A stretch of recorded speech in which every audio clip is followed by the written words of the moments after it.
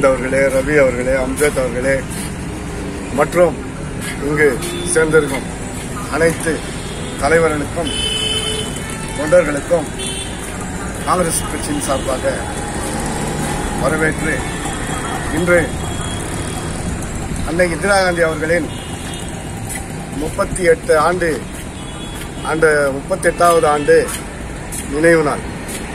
அவர் இறந்து முப்பத்தி எட்டு ஆண்டுகள் நம்மை கடந்து சென்று விட்டது இந்நாட்டுக்கு இந்திரா காந்தி அம்மாவை ஷூட் பண்ணாங்க. எந்த பிரச்சனை இருந்தாலும் சரி என்ன இருந்தாலும் அதை எப்படி தீர்த்து வைக்கணும் அது மேல நடவடிக்கை எடுக்கணும்ன்றத ரொம்ப போல்டா டிசைட் பண்ணி ஒரு வேலையை செய்வாங்க. அவங்க பிரைம் மினிஸ்டரா இருக்கும்போது யாருக்கு இருந்தாலும் நியாயம் தான் முக்கியம்னு சொல்லிட்டு எந்த பிரச்சனை இருந்தாலும் உடனே ஒரு டிசிஷன் எடுத்து போல்டா டிசிஷன் எடுக்கிற ஒரே ஒரு பெண் தலைமை தலைவி இந்திரா காந்தி அவர்கள். அப்படிப்பட்ட ஒரு அரசியல் ரீதியா ஒரு தீர்மானம் எடுக்கும்போது பிரச்சனை ஏற்பட்டு அதனால இந்திரா காந்தி அவர்களை சுட்டு வீழ்த்தினார்கள். அவருடன் இருந்த காவலர்களே துரோகிகள் அவரை சுட்டு வீழ்த்தினார்கள். சுமார் முப்பது முறை முப்பது புல்லட் அவர் உடம்புல பாஞ்சிருச்சு. அப்படிப்பட்ட ஒரு பெருந்தலைவி. இந்த நாட்டுக்கே ஒரு பெரிய பெண் தலைவி. இரும்பு மனித இரும்பு தலைவி. ஐரன் லேடின்னு சொல்லுவாங்க. அப்படிப்பட்ட ஒரு தலைவியை வந்து சுட்டு கொண்டு விட்டாங்க இந்த நாட்டினுடைய ஒற்றுமைக்காக தான் அவங்க உயிர் தொண்டாங்க இந்த நாட்டை ஒற்றுமையா வைக்கணுன்ற ஒரே ஒரு நோக்கம்தான் ஒன்றே குலம் ஒருவனே தேவன். எல்லா மதமும் ஒன்று இந்து முஸ்லீம் கிறிஸ்டியன் சிக்கு பர்ஷி இப்படி எல்லா ஜெயின் எல்லாமே ஒண்ணுன்ற ஒரு கொள்கையில தான் காங்கிரஸ் ஆட்சி அமைச்சது. அதை கட்டி காப்பாற்ற தான் அவங்க அப்படிப்பட்ட ஒரு ஆட்சி நடக்கும்போது தன்னுடைய உயிரை கொண்டாங்க அன்னை இந்திரா காந்தி அவர்கள் ஒரு சாதாரண லேடி. இல்லை அவங்க வந்து ஐரன் ஐரன் லேடின்னு சொல்லிட்டு உலகம் பூரா அவங்கள பாராட்டினாங்க. எந்த தீர்மானம் எடுத்தாலும் அதுல வந்து ஸ்ட்ராங்கா நிக்குவாங்க. அப்படிப்பட்ட ஒரு தலைவிய அப்படிப்பட்ட ஒரு காங்கிரஸ் பிரைம் மினிஸ்டர் நாம் இழந்தது நமக்கு ஒரு பெரிய இழப்பாகும். இந்த நேரத்தில் அவரை நினைவு கூர்ந்து அவருடைய இந்த நாளிலே நாம் ஒரு உறுதிமொழியை எடுத்துக்கொள்வோம் என்னவென்றால் இந்திய நாட்டிலும் சரி கர்நாடக மாநிலத்திலும் சரி காங்கிரஸ் ஆட்சி அமைக்க வேண்டும். காங்கிரசுக்காக நாம் போராட்டி போராடி காங்கிரஸை நாம் எல்லா மாநிலத்திலே காங்கிரஸ் ஆட்சியை அமைக்க நாம் உறுதுணையாக இருக்க வேண்டும் என்று இந்த நேரத்தில் கேட்டுக்கொண்டு இளைஞர்களே நீங்கள் ஒன்றை உணர வேண்டும். சுதந்திர போராட்டத்திலே ஈடுபட்டது காங்கிரஸ் கட்சி. சுதந்திர போராட்டத்திற்காக உயிர் தியாகம் செய்தது காங்கிரஸ் கட்சி.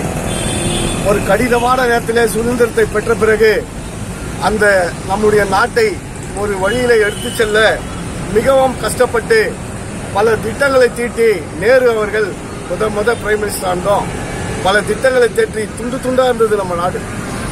எப்படின்னு சொன்னா அங்கங்க ஒரு மாகாணம் அங்கங்க ஒரு ராஜா அவங்கவுங்க குட்டி குட்டி ராஜாங்க இருந்தாங்க. ஸோ இதையெல்லாம் ஒன்னா சேர்த்து ஒரு கட்டுப்பாடுக்குள்ள எடுத்து வந்து ஒரு பெரிய விஷயம். அது அவ்வளவு ஈஸி இல்லை. அப்படிப்பட்ட ஒரு அப்படிப்பட்ட ஒரு நான் நம்முடைய சீர்குலைந்திருந்த நம்ம நாட்டெல்லாம் ஒன்று சேர்த்து ஒரு வழியில் அதை எடுத்துக்கொண்டு வந்து சிறப்பான ஆட்சியை கொடுத்து பிறகு அண்ணா இந்திரா காந்தி அவர்கள் பிரைம் மினிஸ்டர் இருந்தோம் பல திட்டங்களை அவர் எடுத்து வந்தார். யார் வந்து உழவுறாங்களோ நிலத்தை உழுவவனுக்கே நிலம் சொந்தம். அது ஒரு பெரிய ஒரு பெரிய திட்டம். காரணம் என்னன்னா ஏழை எளியவர்கள் நிலம் இல்லாத இருந்தவர்களுக்கெல்லாம் நிலம் கொடுத்தார். அதே போன்று அதே போன்று நம்முடைய நாட்டில் பேங்க் எல்லாம் கிடையாது. எல்லாமே ஃபைனான்ஸு பெரிய பெரிய ஆளுங்க பெரிய பெரிய ஜமீன்தார்கள் இப்படி பெரிய குரூப் எல்லாம் சேர்ந்து அவங்க எல்லாம் ஃபைனான்ஸ் கொடுப்பாங்க அந்த ஃபைனான்ஸை வாங்கி நீ வட்டி கட்டி திருப்பி அதை ரிட்டர்ன் பண்ணும். அப்படி ஒரு நிலைமை. அது கூட ஷூரிட்டி கேட்குவாங்க. அது கூட உனக்கு அந்த தகுதி இருந்தால் தான் உனக்கு லோன் கிடைக்கும். ஆனா அதெல்லாம் ஒழிச்சு ஒரு பேங்கிங் சிஸ்டம் எடுத்து வந்து நேஷனலைஸ் பண்ணி பேங்க்கை எல்லாருக்கும் ஈஸியா லோன் கிடைக்கணும். எல்லாரும் அந்த லோனை வாங்கி வாழ்வில் வாழ்வில் அவங்க வந்து தேவையான உதவிகளை செய்து கொண்டு தேவையான வாழ்க்கையை அமைத்துக் கொள்ள வேண்டும் என்ற ஒரு நோக்கத்திலே எல்லாருக்கும் வந்து லோன் கொடுக்கறதுக்கோசம் பேங்கிங் நேஷனலைஸ் பண்ணாங்க. அப்புறமா பப்ளிக் செக்டர் பல பப்ளிக் செக்டர் ஃபேக்டரியை வந்து கொண்டு வந்தாங்க. ஏன்னா எல்லாரும் வந்து வேலை செய்யணும். அப்பதான் அவங்களுடைய குடும்பத்தை அவங்க பார்த்துக்க முடியும் அப்படின்றதுக்கோசம் பல பப்ளிக் செக்டரை உருவாக்கினாங்க. ஆனால் அந்த காலத்திலேயே பணம் இல்லாத நேரத்திலேயே கஷ்டப்பட்டு பல public sector banking nationalise Indira Gandhi அவர்கள் இன்னைக்கு என்னாச்சு நிலைமை அப்படியே திருப்பி பாருங்க. பிஜேபி அரசாங்கம் என்ன பண்றான் பேங்க் எல்லாம் பிரைவேட்டிஸ் பண்றான் ரயில்வேவே பிரைவேட்டிசம் பண்றான் பப்ளிக் செக்டரே பிரைவேட்டிசம் பண்றான் ஏர்போர்ட்டே பிரைவேட்டிசம் பண்றான் எல்லாமே பிரைவேட்டா பண்ணா நம்ம மக்கள் என்ன பண்றது? வேலை வெட்டி இல்லாத இருக்கணும். இப்போ ஒரு பெரிய பணக்கார முதலாளிங்க கிட்ட இந்த பப்ளிக் செக்டரும் ஒரு ஒரு டிபார்ட்மெண்ட்டும் போச்சுன்னா அவன் என்ன சொல்றானோ அதை தான் செய்யணும். அவன் என்ன பேமெண்ட் கொடுக்குறானோ அதை தான் வாங்கணும். எதிர்த்து கேட்க முடியாது. அப்படிப்பட்ட ஒரு மோசமான நிலைமையை இன்னைக்கு பிஜேபி அரசாங்கம் கொண்டு வந்திருக்குதுன்னா இதை நம்ம வன்மையா கண்டிக்கிறோம். எதிலும் ஊழல் எங்க ஊழல் கர்நாடகா ஸ்டேட்ல இருக்குன்னா நாற்பது பர்சன்ட் ஊழல் எங்கன்னா ஒரு டேபிள் கிட்ட போய் நின்னா காசு இல்லாத வேலை ஆகுறதுல ஒரு நிலையான ஆட்சி இல்ல நிலையான மந்திரிங்க இல்ல எல்லாத்துலயும் ஊழல் அப்படிப்பட்ட ஒரு மோசமான ஒரு பிஜேபி அரசாங்கம் நம்ம ஸ்டேட்ல இருக்கிறது உடனே நம்ம அதை ஒழித்து கட்டணும். நம்ம என்ன செய்யணும்னு சொன்னாக்கா ஒற்றுமையா வேலை செய்து காங்கிரஸுக்கு ஓட்டு போட்டாவே அவங்க ஆட்டோமேட்டிக்கா வீட்டு போ வீட்டுக்கு போயிடுவாங்க இப்படி ஒரு மோசமான நிலைமையில எதுக்கு எடுத்தாலும் ஜிஎஸ்டி நம்ம நடந்தாலும் ஜிஎஸ்டி நம்ம போட்டுக்கிற செருப்புக்கு ஜிஎஸ்டி நம்ம சாப்பிடுற சாப்பாட்டுல ஜிஎஸ்டி நம்ம வாங்குற வாட்சில ஜிஎஸ்டி கார் வாங்கினா ஜிஎஸ்டி ஒரு பொருள் வாங்கினா ஜிஎஸ்டி எதுக்கு எடுத்தாலும் அரிசிக்கு ஜிஎஸ்டி காய்க்கு ஜிஎஸ்டி அதெல்லாம் போயிட்டு வேணா என்ன பண்ணானாக்கா அதோ அட்மிஷன் பண்றான் உடம்பு சரியில்லாத ஹாஸ்பிட்டலில் போய் சேர்றேன்னு சொன்னாக்கா ஐசி வார்டுனா அதுக்கு ஜிஎஸ்டி இப்படி ஜிஎஸ்டி ஜிஎஸ்டி ஜிஎஸ்டின்னு சொல்லிட்டு நம்ம கிட்ட இருந்து வாங்குற பணத்தை எல்லாம் அவருடைய கட்சி வளர்ச்சிக்கோசம் யூஸ் பண்ணுகிறாங்க பிஜேபி காரு. அதனால நான் என்ன சொல்றேன்னாக்கா மீண்டும் ஒரு சுதந்திர போராட்டத்தை நம்ம நடத்தணும். ஏன்னா வெள்ளக்காரங்கிட்ட இருந்து ஆட்சியை நம்ம எப்படி வாங்கணுமோ அது போல இப்ப பிஜேபி காரங்கிட்ட இருந்து நம்ம நம்ம நாட்டை காப்பாத்தணும். அப்படி இல்லைன்னா கொள்ளை கூட்டம் அதிகமாகிவிட்டது. நார்த் இந்தியாவில் இருக்கிற எல்லா மினிஸ்டரும் சென்ட்ரல் மினிஸ்டர் எல்லாம் கோட்டீஸ்வரம் தான். எல்லாமே பணக்காரன் தான். எல்லாம் ஊழல் சம்பந்தப்பட்டவன் தான். அப்படிப்பட்ட ஒரு மோசமான ஒரு கவர்மெண்ட் நடத்தினுக்கிற பிஜேபியே இந்த நேரத்தில் நான் வன்மையாக கண்டிக்கிறேன். ஜெய். கன்னட ராஜோத்சவக்கு ஜெய். கன்னட நாடிகை ஜெய்.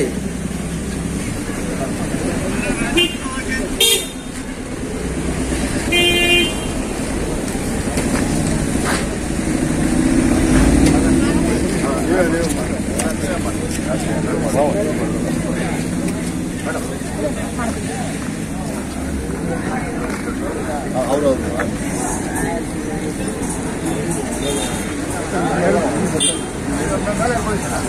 ಅದೇ ಅದೇ ಅದೇ ಅದೇ ಅದೇ ಇದು ಅದು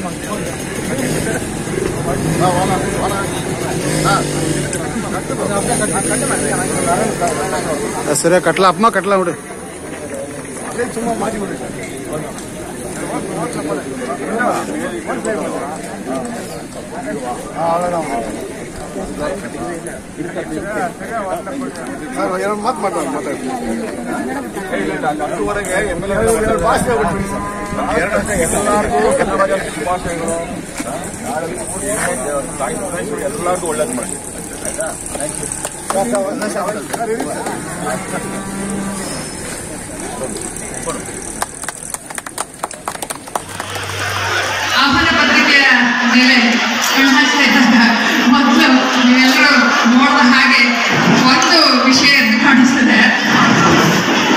ಎಲ್ಲ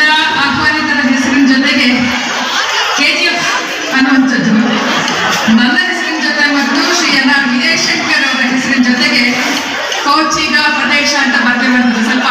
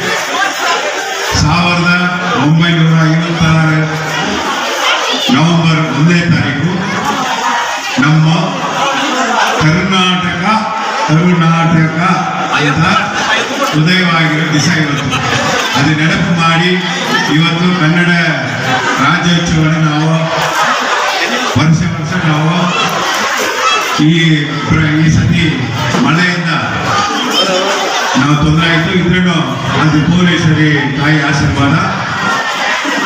ನಾವು ಎಂದೆಂದೂ ಕರ್ನಾಟಕದಲ್ಲಿ ಕನ್ನಡ ಪ್ರೇಮಿಗಳಾಗಿರ್ಬೇಕು. ನಮ್ಮ ಹಿರಿಯರು ನಮ್ಮ ಕನ್ನಡಿ ಭಾಷೆಗೋಸ್ಕರ ತುಂಬ ಹೋರಾಟ ಮಾಡಿ ಅವರ ಮಾರ್ಗದರ್ಶನದಲ್ಲಿ ನಾವು ಸಂಘಟ ಕನ್ನಡ ಸಂಘಟನೆಗಳಲ್ಲಿ ಹಲವಾರು ಹೋರಾಟಗಳಲ್ಲಿ ನಾನು ಕನ್ನಡ ಸೇನೆ ಕರ್ನಾಟಕ ಕೋಲಾರ ಜಿಲ್ಲಾ ಯುವ ಪ್ರಧಾನ ಪ್ರಧಾನ ಕಾರ್ಯದರ್ಶಿಯಾಗಿ ಇದ್ದ ಟೈಮ್ನಲ್ಲಿ ಕಾವೇರಿ ಹೋರಾಟದಲ್ಲಿ ನಾವು ಜೈಲು ಅನುಭವಿಸಿದ್ವಿ ಅದೇ ರೀತಿ ಕರ್ನಾಟಕ, ನವ ಕರ್ನಾಟಕ ಸಂಘಟನೆಯಲ್ಲಿರುವಾಗ ನಾನು ರಾಜ್ಯ ಉಪಾಧ್ಯಕ್ಷರಾಗಿದ್ದು ಹಲವಾರು ಹೋರಾಟಗಳು ಮಾಡಿ ಆ ಸಂಘಟನೆಯಿಂದ ಬೆಳೆದು ಇವತ್ತು ಅಧ್ಯಕ್ಷರಾಗಿ ನಮಗೆ ಆ ತಾಯಿ ಭುವನೇಶ್ವರ ಆಶೀರ್ವಾದ ಮಾಡಿದ್ದಾರೆ. ಅದು ಮಾತ್ರ ಅಲ್ಲ, ನೀವು ನೋಡಿರ್ಬೋದು, ಅಯ್ಯಪ್ಪ ಸ್ವಾಮಿಗೆ ಮಾಲೆ ಧರಿಸ್ಕೊಂಡು ಹೋಗ್ತಾರೆ. ಓಂ ಶಕ್ತಿ ಮಾಲೆ ಧರಿಸ್ಕೊಂಡು ಹೋಗಿದ್ದಾರೆ. ನಾವು ಅರವತ್ತು ದಿವಸ ಕನ್ನಡ ಮಾಲೆನ ಹರಿಸ್ಕೊಂಡು ಕನ್ನಡ ತಾಯಿ ಭುವನೇಶ್ವರಿ ಭುವನೇಶ್ವರಿ, ಭುವನಗಿರಿಗೆ ಹೋಗಿ ಆ ತಾಯಿ ಆಶೀರ್ವಾದ ಪಡೆದು ನಾವು ಅಷ್ಟೊಂದು ಕನ್ನಡ ಪ್ರೇಮಿಗಳಾಗಿ ನಾವು ಇದ್ದೀವಿ. ಅದೇ ರೀತಿ ನಾವು ಕನ್ನಡನ ಬೆಳೆಸಿ ಅಂತ ಹೇಳ್ಬಾರ್ದು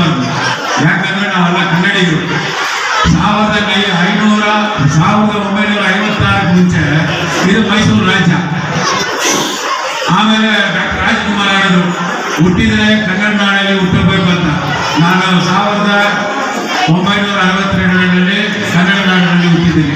ಅದು ತುಂಬ ನಮಗೆ ತುಂಬ ಸಂತೋಷಕರವಾಗಿ ನಮ್ಮ ಈ ನಾಡಿನಲ್ಲಿ ಹುಟ್ಟಿದ್ದು. ನಮ್ಮ ತಂದೆ ಹುಟ್ಟಿದ್ದು ಬೇರೆ. ನಾನು ಕರ್ನಾಟಕದಲ್ಲಿ ಹುಟ್ಟಿದ್ದೀನಿ. ಅದು ಕನ್ನಡ ನಾಡಿನಲ್ಲಿ ಹುಟ್ಟಿದ್ದೀನಿ ಅಂತ ಬಹಳ ಸಂತೋಷದಿಂದ ನಿಮ್ಗೆ ಹೇಳ್ತಾ ಇದ್ದೀನಿ. ಇವತ್ತು ದಿವಸ ನಾವೊಂದು ಕನ್ನಡ ಪ್ರೇಮಿನ ಕಲ್ಕೊಂಡು ಒಂದು ವರ್ಷ ಆಗಿದೆ. ಅದು ಬೇರೆಯವರಲ್ಲ, ಮಕ್ಕಳ ಪ್ರೀತಿ. ಯುವಕರ ಪ್ರೀತಿ, ನಮ್ಮ ಎಲ್ಲರೂ ಪ್ರೀತಿನ ಪ್ರೀತಿನ ತಗೊಂಡು ಇವತ್ತು ಒಂದು ವರ್ಷ ನಾವು ಕಳ್ಕೊಂಡಿದ್ದೀವಿ ಆ ವ್ಯಕ್ತಿ ಯಾರಂದ್ರೆ ಪುನೀತ್ ರಾಜ್ಕುಮಾರ್. ಅವರು ಬರೀ ನಟರಲ್ಲ ನಮ್ಮ ಸಮಾಜ, ಸಮಾಜಕ್ಕೆ ಮತ್ತೆ ಕನ್ನಡಕ್ಕೆ ಬಹಳ ಸೇವೆ ಮಾಡಿದ್ದಾರೆ. ಅವರಾಗಿ ಅವ್ರ ತಂದೆ ಡಾಕ್ಟರ್ ರಾಜ್ಕುಮಾರ್. ಅವರು ಬರೀ ನಟರಲ್ಲ ಕನ್ನಡ ಪ್ರೇಮಿ. ಅವರು ಒಂದೊಂದು ಪಿಕ್ಚರ್ನಲ್ಲೂ ಆಡಿರೋ ಹಾಡು, ಅವ್ರು ತೆಗೆದಿರೋ ಪಿಕ್ಚರ್ಗಳು ಕವಿರಾಜ ಕಾಳಿದಾಸ್. ನೋಡಿದ್ರೆ ನಾವು ಎದ್ದು ಬರೋಕ್ಕೆ ಚಾನ್ಸ್ ಇಲ್ಲ. ಆ ಥರ ಬಂದ್ಬಿಟ್ಟು ಅವಕಾಶನೇ ಇಲ್ಲ. ನಾನು ಇಂಗ್ಲೀಷಲ್ಲಿ ಮಾತಾಡ್ಬಾರ್ದು. ಯಾಕಂದ್ರೆ ಎಸ್ ಪಿ ಮೇಡಮ್ ಹೇಳಿದ್ರೆ ಕನ್ನಡ ಇಲ್ಲ ಕರ್ನಾಟಕ. ಅದರಿಂದ ನಾವು ನಮ್ಮ ಮುಂದಿನ ನಮಗೆ ಎಲ್ಲ ಕನ್ನಡಕ್ಕಾಗಿ ನಮಗೆ ಕಷ್ಟ ಬಿದ್ದಿರೋ ಈ ಸಂಘಟನೆ ಬೆಳೆಸಿದವರು ಎಲ್ಲರಿಗೂ ನಮ್ಮ ಧನ್ಯವಾದ ಹೇಳ್ತಾ ನಮ್ಗೆ ಅವಕಾಶ ಕೊಟ್ಟೆ ನಿಮ್ಗೆಲ್ಲರಿಗೂ ನಮಸ್ಕಾರಗಳು. ಹೇಳುವಂತ ವೇದಿಕೆ ನಮ್ದಾಗಿದೆ ಅಂತ ನಾನು ಖುಷಿಯಾಗಿ ಹೇಳಲಿಕ್ಕೆ ಇಷ್ಟಪಡ್ತಾ ಖಂಡಿತ ಇಂಥ ದಿನ ಮಳೆ ಆಶೀರ್ವಾದ ಮಾಡಿದೆ. ಆದ್ರೂ ಕೂಡ ಎಲ್ಲೋ ಒಂಥರ ಮನಸ್ಸು ನಂದು ಜರ್ಜರಿತರಾಗಿದೆ. ಎಲ್ಲರೂ ಇಷ್ಟು ಸಡಗರವಾಗಿ, ಇಷ್ಟು ಶಾಲೆ ಮಕ್ಕಳು ಈ ದಿನ ರಜದ ದಿನ ಇಷ್ಟು ಅಲಂಕಾರ ಮಾಡಿಕೊಂಡು ಕಾರ್ಯಕ್ರಮದಲ್ಲಿ ತಾವು ಪಾಲ್ಗೊಳ್ಬೇಕು. ಕಾರ್ಯಕ್ರಮನ ಎಲ್ರಿಗೂ ಇಷ್ಟಪಡೋಂಗೆ ನಾವು ಮಾಡ್ಬೇಕು ಅಂತ ಇಷ್ಟು ಖುಷಿ ಖುಷಿಯಾಗಿ ಸಡಗರವಾಗಿ ಬಂದಾಗ ಒಂದ್ ಕಡೆ ಮಳೆ ಅವರ ತಡೀತಾ ಅವರ ಆಸಕ್ತಿನ, ಅವ್ರ ಖುಷಿನ, ಅವ್ರ ಭಾವನೆಗಳನ್ನ ಹಂಚ್ಕೊಳ್ಳುವಂಥದ್ರಲ್ಲಿ ಟೀಚರ್ಸ್ ಅವರು ಒದ್ದಾಡದ ಅಂತ ಎಲ್ಲೋ ಒಂದ್ ಕಡೆ ನನ್ನ ಮನಸ್ಸು ಕಸಿಮಿಸಿ ಆಗ್ತಾ ಇದೆ. ಬರುವಂತ ದಿನಗಳಲ್ಲಿ ಈ ಜಾಗನ ಸಂಪೂರ್ಣವಾಗಿ, ಎಷ್ಟು ಸುರಕ್ಷಿತವಾಗಿ ಈ ಕಾರ್ಯಕ್ರಮನ ವೈಭವವಾಗಿ, ಅದ್ದೂರಿಯಾಗಿ ಮಾಡಲಿಕ್ಕೆ ಈ ವೇದಿಕೆನ ಮಾಡಬೇಕು ಅಂತ ನನ್ನ ಆಲೋಚನೆ ಇದೆ. ಮತ್ತೆ ಕನ್ನಡ ಸಂಘಟನೆಯಲ್ಲಿ ಗುರುತಿಸ್ಕೊಂಡು ಗಡಿ ಭಾಗದಲ್ಲಿ ಬಹಳ ಗೌರವವಾಗಿ ಇಡೀ ಕ್ಷೇತ್ರದಲ್ಲಿ ಅಲ್ಲ, ನನ್ನ ಕ್ಷೇತ್ರದಲ್ಲೇ ಅಲ್ಲ, ಬೇರೆ ಕ್ಷೇತ್ರದಲ್ಲೂ ಕೂಡ ವಿಜಯಣ್ಣವರು ಅಂತಂದ್ರೆ ಅವ್ರಿಗೆ ಆದ ಒಂದು ಗೌರವ ಇದೆ, ಪ್ರಶಂಸೆ ಇದೆ, ಬಹಳ ಉತ್ತಮವಾಗಿರುವಂಥವ್ರು ರಿ- ಸಜ್ಜನರು, ರೀತಿ ನೀತಿಯಿಂದ ನಡ್ಕೋತಾರೆ ಅಂತ ಬಹಳ ಗೌರವವಾಗಿ ಹೇಳ್ತಾರೆ. ಆ ಥರ ಈ ವೇದಿಕೆಯಲ್ಲಿ ಅಷ್ಟು ಈ ಕಾರ್ಯಕ್ರಮಕ್ಕೆ ನಮ್ಮನ್ನೆಲ್ಲ ಕರೆದು ಈ ಕಾರ್ಯಕ್ರಮನ ಯಶಸ್ವಿಯಾಗಿ ಮಾಡಬೇಕು ಅಂತ ಕನ್ನಡ ಸಂಘದ ವಿಜಯ ಶಂಕರಣ್ಣ ಅವರಿಗೆ ನಾನು ನನ್ನ ಹೃದಯಪೂರ್ವಕವಾದ ಧನ್ಯವಾದಗಳನ್ನು ನೀವು ಏನೇನು ಅನ್ಕೊಂಡಿದ್ದೀರಾ ಅದನ್ನ ನಾವೆಲ್ಲರ ಆಶಯಗಳು ಕೂಡ ಅದೇ ಆಗಿದೆ. ಬರುವಂತ ವರ್ಷದಲ್ಲಿ ಒಂದು ಐದಾರು ತಿಂಗಳಲ್ಲಿ ನೀವು ಏನೇನು ಅನ್ಕೊಂಡಿದ್ದೀರಾ ಅದನ್ನ ಹಂತ ಹಂತವಾಗಿ ಮಾಡುವಂತ ಎಲ್ಲಾ ಪ್ರಯತ್ನದಲ್ಲಿ ನಾನು ನಿಮ್ಮ ಜೊತೆ ಸಹಕಾರವಾಗಿ ಇರ್ತೀನಿ ನನ್ನ ಅನುದಾನ, ಅಂದ್ರೆ ನನ್ನ ಕ್ಷೇತ್ರ ಅಭಿವೃದ್ಧಿಗೆ ಬರುವಂತ ಅನುದಾನ ಕೂಡ ಇಪ್ಪತ್ತೈದು ಲಕ್ಷ ಅನುದಾನ ಹಂತ ಹಂತವಾಗಿ ಕನ್ನಡ ಭವನ ಕಟ್ಟಲಿಕ್ಕೆ ನಾನು ಸಾಕಾರವಾಗಿ ನಿಂತ್ಕೊಂತೀನಿ ಅಂತ ಈ ವೇದಿಕೆಯಲ್ಲಿ ಹೇಳಲಿಕ್ಕೆ ಇಷ್ಟಪಡ್ತೀನಿ. ಮೊದಲೇ ಈ ಕಳೆದ ವರ್ಷದಲ್ಲೇ ನಾವು ಇದನ್ನ ಪ್ರಯತ್ನ ಮಾಡಿದ್ವಿ. ಕಾರಣಾಂತರಗಳಿಂದ ಪ್ರಸ್ತಾವನೆ ಸ್ವಲ್ಪ ನಿಧಾನವಾಗಿ ಹೋಗಿದ ಕಾರಣದಿಂದ ಇದೆ.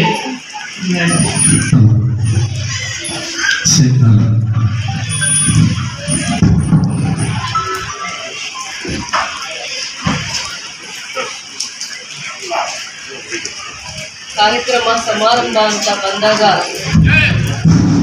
ಕಾರ್ಯಕ್ರಮ ಸಮಾರಂಭ ಅಂತ ಬಂದಾಗ ಇಂಥ ಎಷ್ಟೋ ಅನುಭವಗಳು ಆಗ್ತಾ ಇತ್ತು ಇದೊಂದು ಅನುಭವ, ನಮಗೆ ಕಹಿ ಅನುಭವ ಆದ್ರೂ ಕೂಡ ಇದರಿಂದ ಒಳ್ಳೆ ಪಾಠವನ್ನು ಕಲ್ತಿದ್ದೀನಿ ಅಂತ ಹೇಳ್ತಾ, ಈ ವೇದಿಕೆಯನ್ನು ಅಲಂಕರಿಸಿರುವಂತ ಕನ್ನಡ ಧ್ವಜಾರೋಹಣ ಮಾಡಿರುವಂತವ್ರು ಮತ್ತೆ ಕವಿ ಅಂತ ಹೇಳಿದ್ರು ಕೂಡ, ತಪ್ಪಲ್ಲ, ಸಾಹಿತಿಗಳು ಕೂಡ ಬಹಳ ವಿಚಾರಗಳನ್ನು ಕೂಡ ಬಹಳ ವಿಚಾರಗಳನ್ನ ಮತ್ತೆ ಅವರದೇ ಆದ ರೀತಿ ನೀತಿಗಳನ್ನ ಮೈಗೂಡಿಸ್ಕೊಂಡು ತಮ್ಮ ಜೀವನದ ಅರ್ಧದಷ್ಟು ಸಮಯ ಮಕ್ಕಳಿಗೆ ಪಾಠ ಕಲಿಸುವಂತ ವೃತ್ತಿಯನ್ನ ಬಹಳ ಅಭಿಮಾನದಿಂದ ಗೌರವದಿಂದ ಮಾಡ್ತಾ, ತದನಂತರ ದಿನಗಳಲ್ಲಿ ಉತ್ತಮವಾದಂತ ಸೇವೆಯನ್ನ ಮಾಡ್ತಾ, ಹತ್ತು ವರ್ಷಗಳ ಕಾಲ ಪೊಲೀಸ್ ಟ್ರೈನಿಂಗ್ ಅನ್ನ ಮಾಡಿ, ನನ್ನ ಗಡಿ ಭಾಗದ ಕ್ಷೇತ್ರದಲ್ಲಿ ಸೇವೆಯನ್ನ ಮಾಡಲಿಕ್ಕೆ ಉತ್ಸಾಹದಿಂದ ಬಂದಿರುವಂತ ಧರಣಿ ದೇವಿ ಮೇಡಮ್ ಅವರು ಕೂಡ ಈ ಕನ್ನಡ ತಾಯಿ ಭುವನೇಶ್ವರಿಯ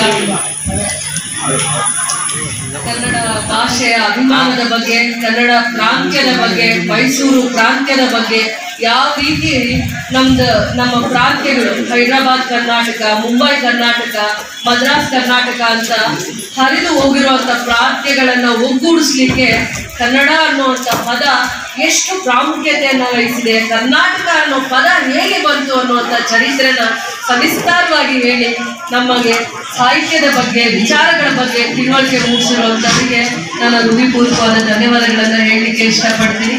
ಕನ್ನಡದ ಅಭಿಮಾನದಿಂದ ನಮ್ಮ ಕ್ಷೇತ್ರದ ಪ್ರಥಮ ಪ್ರಜೆ ಆಗಿರುವಂತ, ನನ್ನ ಸೋದರ ಸಮಾನರು ಆಗಿರುವಂತ ಒಲ್ಲದಂತಾನೆ ಹೆಸರುವಾಸಿ ಆಗಿರುವಂತವರು ಕನ್ನಡ ಮಾತಾಡಿದ್ರು, ಮಗುವಿನ ತೊದಲು ನುಡಿಗಳನ್ನು ಮಾತಾಡದಷ್ಟೇ ಬಹಳ ಕನ್ನಡದ ಬಗ್ಗೆ ಅಭಿಮಾನದಿಂದ, ಗೌರವದಿಂದ, ತಮ್ಮ ಅನುಭವದ ವಿಚಾರಗಳನ್ನ ಹೇಳುವಂತ ನಗರಸಭೆ ಅಧ್ಯಕ್ಷರಿಗೂ ಕೂಡ ನನ್ನ ಹೃದಯಪೂರ್ವಕವಾದ ಧನ್ಯವಾದಗಳನ್ನು ಹೇಳ್ತಾ, ಇದೇ ಕ್ಷೇತ್ರದ ತಾಲೂಕು ದಂಡಾಧಿಕಾರಿಗಳು, ಇನ್ನೂ ಜನರನ್ನ ಗೆಲ್ಲಬೇಕು ರೈತರನ್ನ ಗೆಲ್ಲಬೇಕು ಬಡವರನ್ನ ಗೆಲ್ಲಬೇಕು ಎಷ್ಟು ಕಾಲ ದೇವರು ನಮಗೆ ಆಶೀರ್ವಾದ ಕೊಟ್ಟಿರ್ತಾರೆ, ಜವಾಬ್ದಾರಿಯನ್ನು ಕೊಟ್ಟಿರ್ತಾರೆ ಗೊತ್ತಿಲ್ಲ.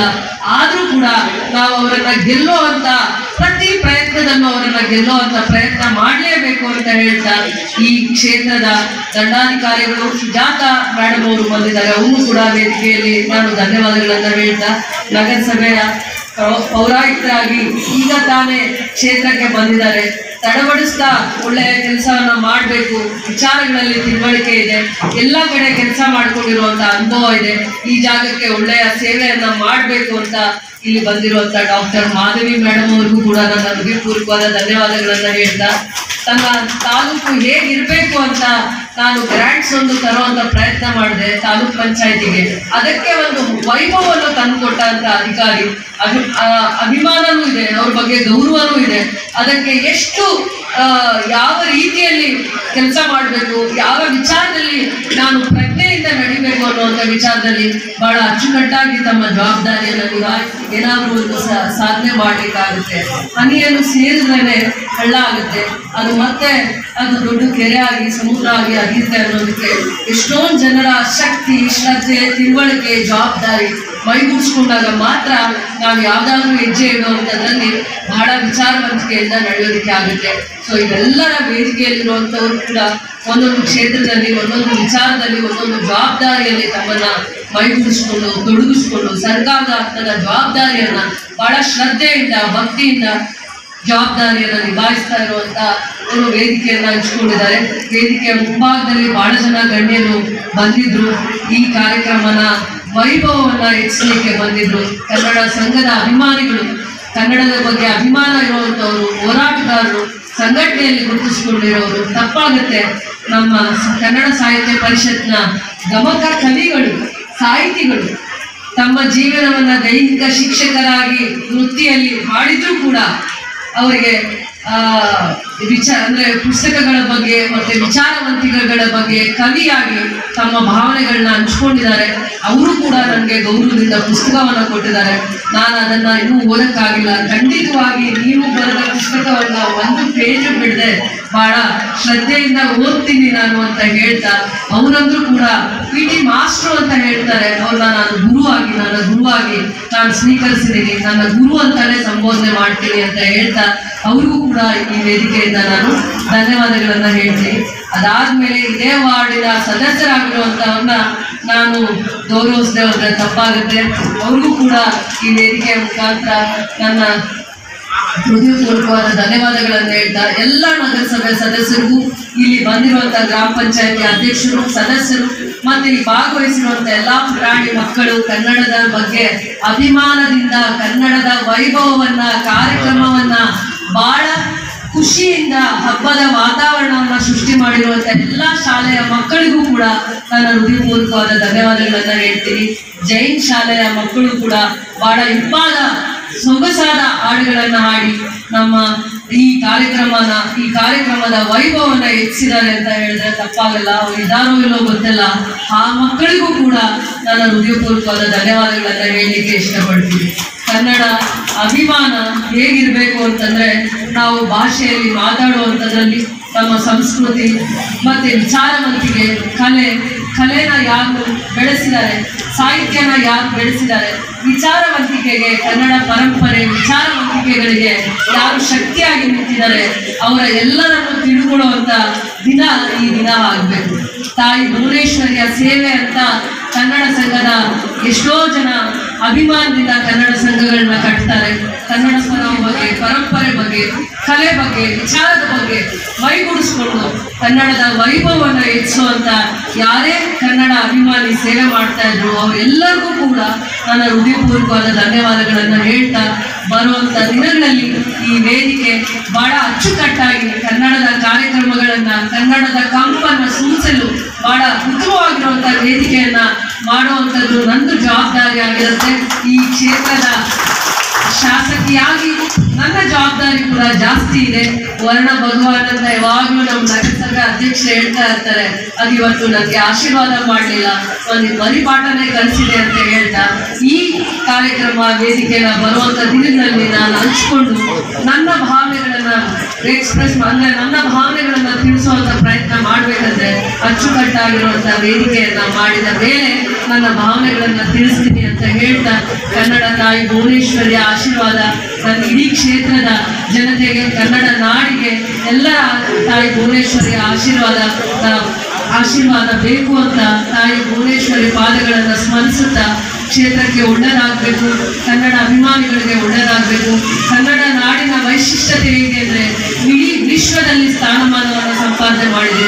ಕನ್ನಡ ನಾಡು ಇಡೀ ವಿಶ್ವದಲ್ಲಿ ಎಲ್ಲರ ಮನಸ್ಸನ್ನು ಸೆಳೆಯುವಂಥ ಆ ಭಾವನೆಗಳಿರುವಂತ ಕನ್ನಡ ನಾಡಿನಲ್ಲಿರುವಂಥವರು, ಅಷ್ಟು ಒಳ್ಳೆಯ ಮನಸ್ಸಿರುವಂಥವರು, ಒಳ್ಳೆ ಹೃದಯ ಇರುವಂಥವ್ರು ಅಂತ ಇಡೀ ವಿಶ್ವದಲ್ಲಿ ಯಾರೇ ಹೋಗಿ ಕರ್ನಾಟಕ ಅಂದರೆ ನಮಗೆ ಒಂದು ಗೌರವ ಇದೆ, ವೈಶಿಷ್ಟ್ಯತೆ ಇದೆ. ಕನ್ನಡ ನಾಡಲ್ಲಿ ಎಷ್ಟೋ ರಾಜ್ಯಗಳಿಂದ ಈ ನಾಡನ್ನ ಉಳ್ಕೊಂಡು ಬರುವಂತವ್ರಿಗೆ ಜೀವನ ಕೊಟ್ಟಿದೆ, ಬದುಕು ಕೊಟ್ಟಿದೆ. ಅದರಿಂದ ಕನ್ನಡ ನಾಡನ್ನ ನಂಬ್ಕೊಂಡು ಬಂದಿರುವಂತ ಎಲ್ಲ ಬಂಧುಗಳಿಗೂ ಕೂಡ ಕನ್ನಡದ ಬಗ್ಗೆ ಅಭಿಮಾನ ಇರಲಿ, ಗೌರವ ಇರಲಿ ಅಂತ ಹೇಳ್ತಾ ಈ ದಿನ ಈ ಕಾರ್ಯಕ್ರಮನ, ಈ ವೇದಿಕೆಯಲ್ಲಿ ಹಂಚ್ಕೊಂಡಿರುವಂತ ಎಲ್ಲ ಗಣ್ಯರಿಗೂ, ಎಲ್ಲ ಕನ್ನಡ ಅಭಿಮಾನಿಗಳಿಗೂ ಕೂಡ ನನ್ನ ಹೃದಯಪೂರ್ವಕವಾದ ಧನ್ಯವಾದಗಳನ್ನ ಕೇಳಲಿಕ್ಕೆ ಇಷ್ಟಪಡ್ತೀನಿ. ಬರುವಂತ ದಿನ ಈ ವೇದಿಕೆ ಇನ್ನೂ ಅರ್ಥಪೂರ್ಣವಾಗಿರ್ಬೇಕು, ವೈಭವವಾಗಿರ್ಬೇಕು. ಅದರಲ್ಲಿ ನನ್ನ ಪಾತ್ರ ಏನು ಅಂತ ಉಳಿಸ್ಕೊಳ್ಳುವಂತ ಈ ಒಂದು ಗಂಟೆಗಳ ಕಾಲ ನಾನು ಇಲ್ಲಿ ಕುತ್ಕೊಂಡಾಗ, ನನ್ನ ಪಾತ್ರ ಏನು ಅಂತ ನನಗೆ ಪ್ರಶ್ನೆ ಮಾಡಿಕೊಂಡಾಗ ನನಗೆ ಇವತ್ತು ಮುಜುಗರ ಆಯಿತು ಶಾಲಾ ಮಕ್ಕಳು ಮಳೆಯಲ್ಲಿ ನೆನೆಯುವಂಥದ್ದಾಯಿತು. ಎಷ್ಟೋ ಜನ ಈ ಕಾರ್ಯಕ್ರಮಕ್ಕೆ ಗೌರವದಿಂದ ಬಂದಿರುವಂಥವ್ರು ಮಳೆಯಲ್ಲಿ ನೆನೆಯುವಂಥ ಅವಕಾಶ ಆಯಿತು. ಮುಂದೆ ಬರುವಂಥ ದಿನಗಳಲ್ಲಿ ಇಂಥ ವಾತಾವರಣ ಇರಬಾರ್ದು ಕೂಡ ಅಂತ ಅಂದ್ಕೊಂಡು ಬರುವಂತ ದಿನ ನನ್ನ ಜವಾಬ್ದಾರಿಯನ್ನ ಮರೆಯದೆ ನಾನು ಬಹಳ ಜವಾಬ್ದಾರಿಯಿಂದ ನಡ್ಕೋತಿದ್ದೆ ಅಂತ ಈ ವೇದಿಕೆಯಲ್ಲಿ ಹೇಳ್ತಾ ಎಲ್ಲ ಪತ್ರಿಕಾ ಸೋದರರಿಗೂ ಕೂಡ ಕನ್ನಡ ರಾಜ್ಯೋತ್ಸವದ ಶುಭಾಶಯಗಳನ್ನ ಹೇಳ್ತಾ ಜೈ ಸಂದರ್ಭದಲ್ಲಿ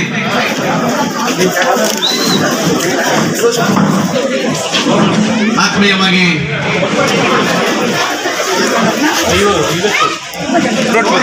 ಆತ್ಮೀಯವಾಗಿ ಕನ್ನಡ ಸಂಘ ಇವರನ್ನು ಆತ್ಮೀಯವಾಗಿ ಗೌರವಿಸ್ತಾ ಇದೆ.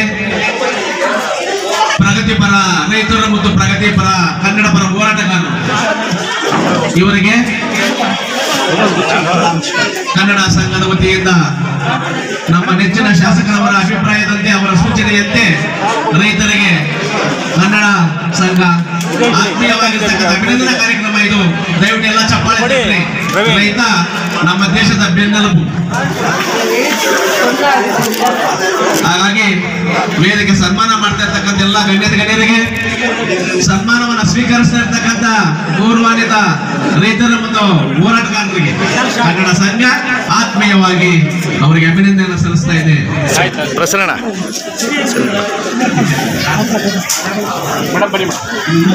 ಜಾಗ ಬಿಡಿ.